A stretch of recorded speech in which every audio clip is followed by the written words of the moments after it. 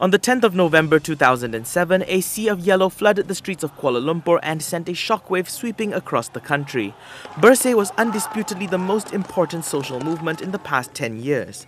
Today on Quickiepedia, we take a look at the 10 years of the five Bersih rallies and how it has changed the political trajectory of Malaysia.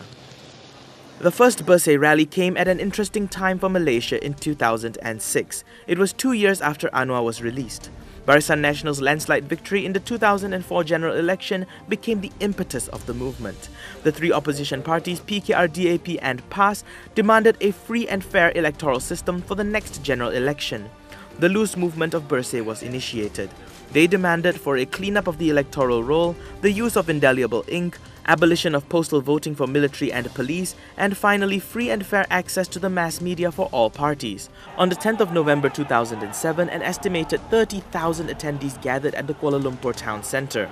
The rain of tear gas and acid-laced water cannons fired by the FRU did not stop the crowd as they marched towards Istana Negara to deliver a memorandum to His Majesty the Yang di-Pertuan Agong. Inspired by this, the Hindu Rights Action Force, or better known as the Hindraf rally, took place just two weeks later in the Kuala Lumpur city centre, gathering an estimated 30,000 attendees. It is generally believed that these two movements brought about the political tsunami in the 2008 general election, where the opposition denied Barisan Nasional their two-thirds majority in the Dewan Rakyat. The movement was rebranded as Bersih 2.0 in 2011 when all three opposition parties withdrew themselves. In 2011, under the leadership of Ambiga Sreenevasan, Bersih called for a second rally to take place on the 9th of July, following complaints of fraud and irregularities in the Sarawak state election. It was tense on the eve of the rally as access to metropolitan Kuala Lumpur was cut off and some civilians were rounded up by the police for the possession of yellow t-shirts.